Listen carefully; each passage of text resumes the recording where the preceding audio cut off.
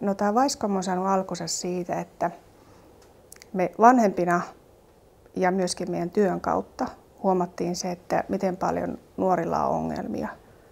Sitten me myöskin huomattiin se, että nuoret oikeasti haluaisi auttaa toisiaan, mutta ei heillä välttämättä ole niitä välineitä siihen auttamiseen.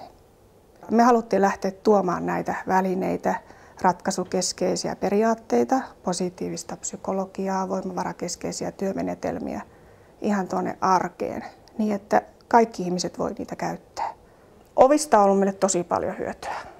Että silloin kun me ovin luo mentiin ensimmäisen kerran, niin voi sanoa, että oli paljon paljon kysymyksiä.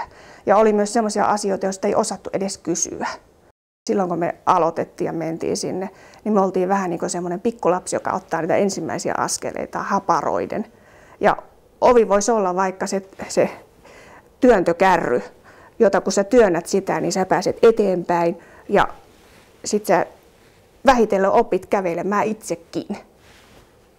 Ovilla autetaan siihen, että autetaan sua tulemaan valmiimmaksi.